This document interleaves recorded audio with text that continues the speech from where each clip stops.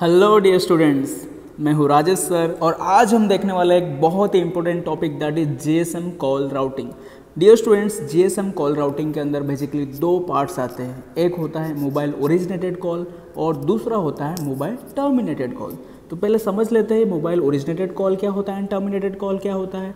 तो students mobile originated call यानी जैसे कि आप यहाँ पे देख पा रहे होंगे स्क्रीन पे सो मोबाइल ओरिजिनेटेड कॉल के अंदर जो कॉल जो स्टार्ट होता है वो मोबाइल स्टेशन से होता है। एंड एंड कहीं पे भी हो सकता है इधर टेलीफोन मतलब आउटसाइड जो जीएसएम नेटवर्क या तो कोई मोबाइल स्टेशन के आ, साथ ही वो कॉल एंड हो सकता है। दूसरा होता है स्टूडेंट्स मोबाइल टर्मिनेटेड कॉल तो मोबाइल टर्मिनेटेड कॉल में क्या होता है? जो कॉल जो एंड होता है ना देखिए आप यहाँ से एक टेलीफोन नेटवर्क से कॉल किया गया है जो कॉल एंड होता है वो एक मोबाइल स्टेशन के साथ होता है। तो इसीलिए इसे कहते हैं मोबाइल टर्मिनेटेड कॉल राइट तो आप समझ गए होंगे mobile originated call and mobile terminated call क्या होता है? हम दोनों ही देखने वाले हैं, लेकिन पहले हम देखते हैं मोबाइल ओरिजिनेटेड कॉल कि कैसे mobile originated call flow work करता है? ये आपका कोई भी जो कॉलेज का सिलेबस होता है यूनिवर्सिटी का सिलेबस होता है and knowledge point of view से भी बहुत ही ज़्यादा इंपॉर्टेंट है। Okay so let's see how it works तो डियर स्टूडेंट्स यहाँ पे आप देख पा रहे हैं कि स्टेप नंबर वन जो है, ये मोबाइल स्टेशन टू BTS के पास आ रहा है पहले then BTS to BSC and B S to MSC right तो यहाँ पे जो कॉल फ्लो का पहला स्टेप है, वो कुछ सिग्नलिंग रिसोर्सेज के लिए रिक्वेस्ट कर रहा है राइट देन यहाँ पे हम ऐसा मान लेते हैं, हमारे केस में कि हम लोग अभी कहीं बाहर हैं। ओके? मतलब हम हमारे होम एमएससी में नहीं है, हम कहीं बाहर हैं। मान लो कि आपका जो होम एमएससी है, वो सूरत है राइट आप होम एमएससी सूरत है, लेकिन आप अभी कहीं घूमने गए हो फॉर एग्ज़ाम्पल लेट से Shimla.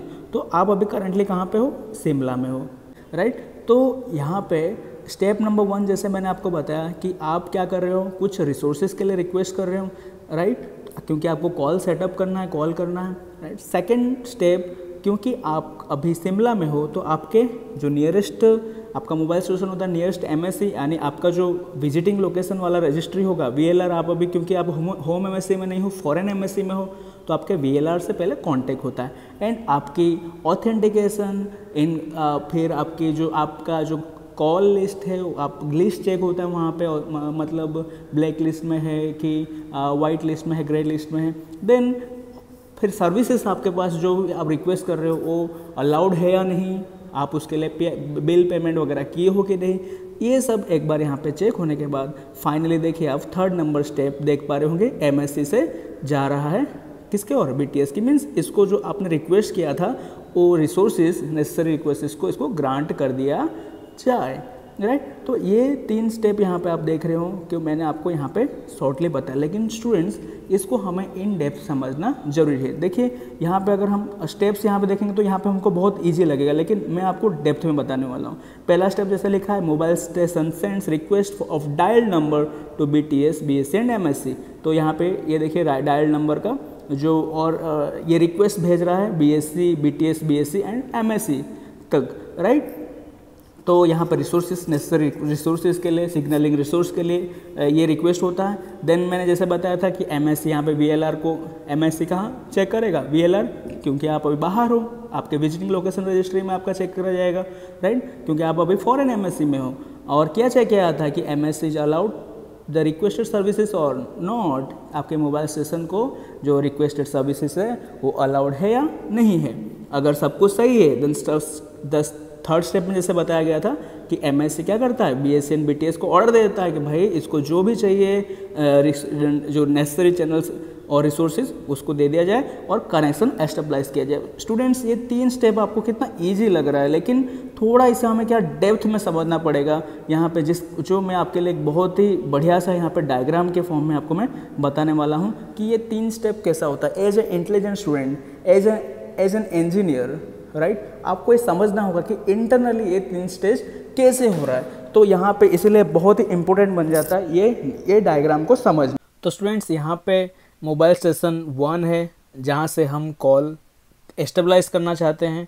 And this is you know base transceiver system यानी जो टावर है आपका देन uh, यहाँ पे base station controller mobile switching centre ये आपका मोबाइल स्विचिंग सेंटर के साथ आपको पता है कुछ डेटा बेजेस होते हैं तो ये सारे डेटा बेजेस है home location registry visitor location registry equipment identity register authentication centre और जहाँ पे हम कॉल को स्टेबलाइज करना चाहते हैं सपोज़ यहाँ पे हमारे केस में हमने एक टेलीफोन लिया हुआ है राइट तो ये सारे डेटाबेस एम के साथ रहते हैं H L R V L R E I R A U C and जैसे कि मैंने आपको बताया है कि यहाँ पे हमने जो कॉल स्टेबलाइज कर रहे हैं, हम कहाँ पे है? शिमला में है, यानी कोई फॉरेन एमएससी में है रादर देन होम एमएससी हमने हमारे यहाँ पे होम एमएससी सूरत को कंसिडर किया है as you all know right student तो यहाँ पे होगा क्या? ज़्यादातर जो भी डीलिंग होगा ना, ये एचएलआर के साथ नहीं होगा वी के साथ होगा। अगर हम, हमारा जो मोबाइल स्टेशन अगर होम एमएससी में ही होता तो जितना भी डीलिंग होता, वो एचएलआर के साथ होता। तो मैक्सिमम डीलिंग हम यहाँ पे वीएलआर के साथ करने वाले हैं, जो मैं आपको पहले से बता दिया।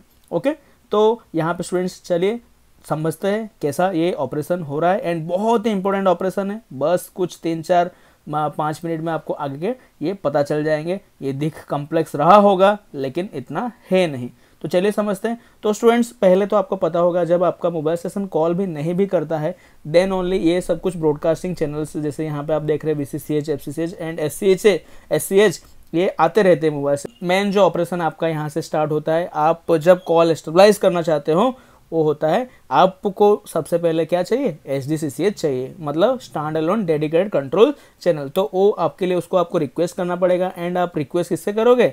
तो यहाँ से हम स्टार्ट कर रहे हैं R S C H channel का यूज़ करके, जो है रैंडम एक्सेस चैनल वो आप बी टी एस के थ्रू होके आप कहाँ तक जाओगे? B S C B S C से आप मांगोगे right B S C base station controller आपको क्या देगा? अगर होगा उसके पास अवेलेबल एस डी एच तो यहाँ पे हमको ये एक्सेस ग्रांट कर देता है। क्या देता है? हमें यहाँ पे मिल जाता है एच डी एच ये बहुत ही इंपॉर्टेंट है stand alone dedicated control channel H D H okay तो जब भी हमें एच एच के थ्रू एच एच के थ्रू एच एच मिलता है यहाँ पे, तब भी वो क्या साथ में ये रहता है कि भाई आपको ये दे रहा हूँ मैं एच एच तो आप, आपको साथ में क्या करना पड़ेगा कि आगे नेक्स्ट स्टेप में मोबाइल स्टेशन को कहता है कि भाई आपका आईएमएसआई या तो टी भेजो। तो यहाँ पे आईएमएसआई कब आएगा? जब आप होम एमएससी में ही हो, तब आएगा। लेकिन हम तो अभी फॉरेन एम का यूज़ कर रहे हैं। तो यहाँ पे आपको टीएमएसआई भेजना पड़ेगा। That is the full form is temporary mobile subscriber identity temporary mobile subscriber identity जब भी आप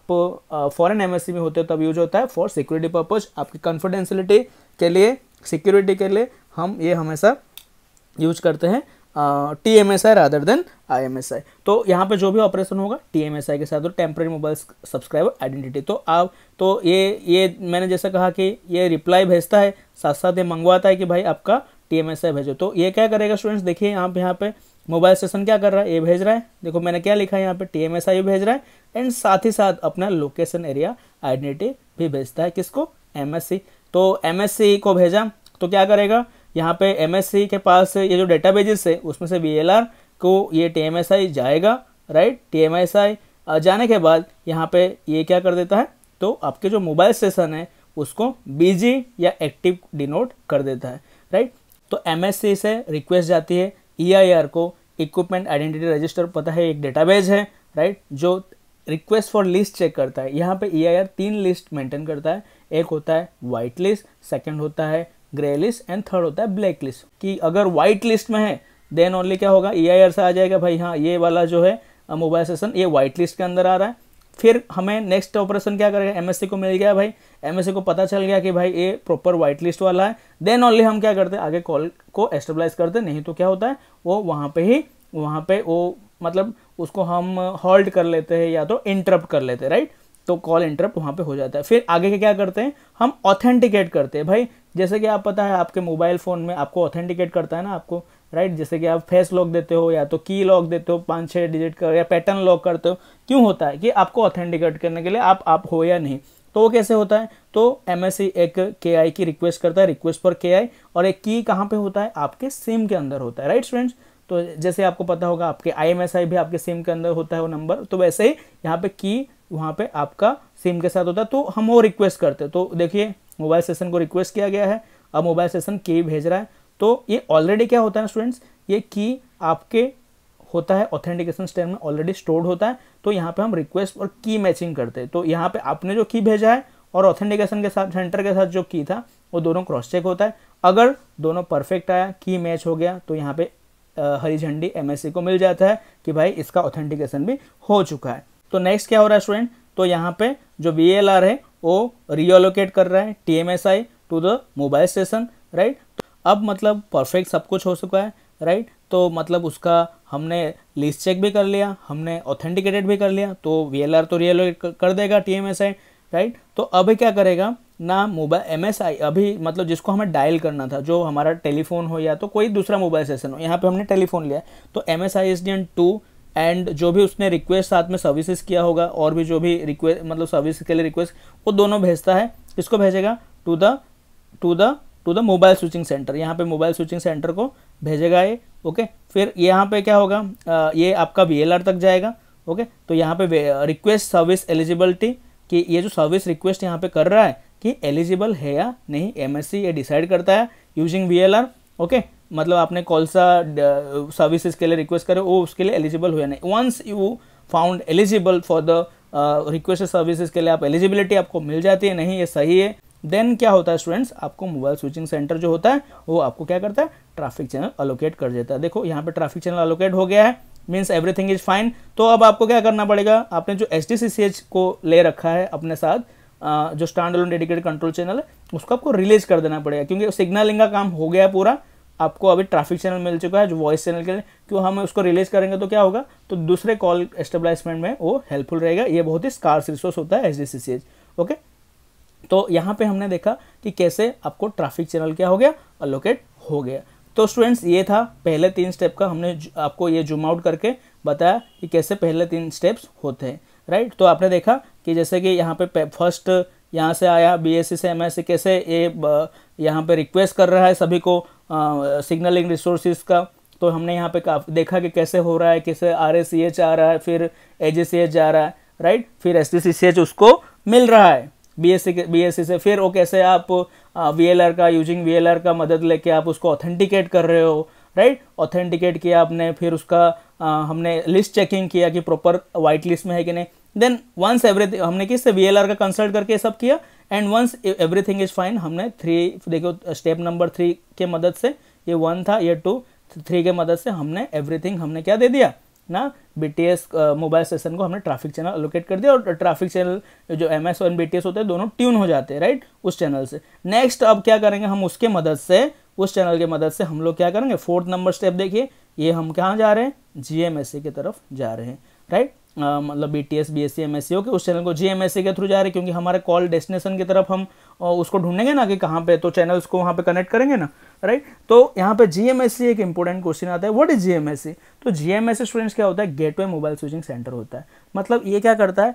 क्या, किस पर्पज के लिए? तो एक ब्रिज बनाता है। हमारा कॉल अभी हम लोग एक मोबाइल नेटवर्क से कर रहे हैं। जब भी हमें आउटसाइड नेटवर्क के साथ कनेक्टेड होना है, देखो यहाँ पे जैसे पब्लिक सर्चिंग टेलीफोन नेटवर्क है टेलीफोन नेटवर्क के साथ, तब भी हमें जीएमएससी का रिक्वायरमेंट होता है। यही मोबाइल टर्मिनेटेड कॉल में भी आएगा, क्योंकि मोबाइल टर्मिनेटेड कॉल में आप मान लो कोई टेलीफोन नेटवर्क से, कोई मोबाइल से मोबाइल को कॉल कर रहे हो राइट तो बीच में जीएमएससी अगेन आएगा, क्योंकि अदर नेटवर्क के साथ जब भी हमें मोबाइल नेटवर्क को कम्युनिकेट करवाना हो राउट करना है कॉल को, वहाँ पे जीएमएससी की ज़रूरत आती है। वो एक ब्रिज का काम करता है दोनों के बीच में।